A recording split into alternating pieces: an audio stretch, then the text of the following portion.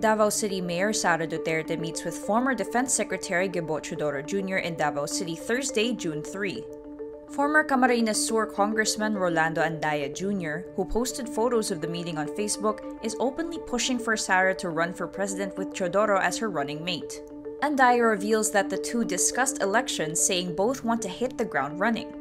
He says both Sara and Teodoro agreed to take on the issue of COVID 19 because of the rising cases in Mindanao, with quote, no convention, no party politics, no backers, just the two of them working together.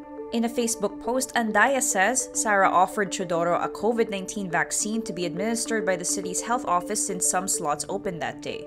Just five days ago, the Davao mayor met with defeated 2016 vice presidential candidate Ferdinand Bongbong Marcos Jr. and his sister, Senator Imee Marcos.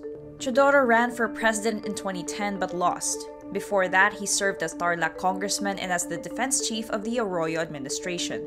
Meantime, Sara rejects the idea of joining PDP Laban, or any national political party for that matter, after some members of her father's political party expressed support for her presidential bid. She tells Rappler on Friday, June 4 that she will remain with Hugpong ng Pagbabago and Hugpong sa Tawong Lungsod and that she does not intend to join any national political party. PDP Laban Acting Secretary General Melvin Matibag earlier said the party would likely support her for president if her father chooses her as his standard bearer. But Sara says she will quote rise and fall with HNP and HTL, the Davao City political party founded by her father, President Rodrigo Duterte.